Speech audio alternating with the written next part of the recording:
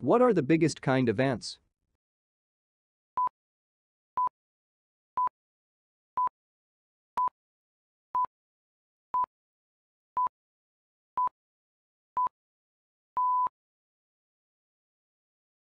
Giants.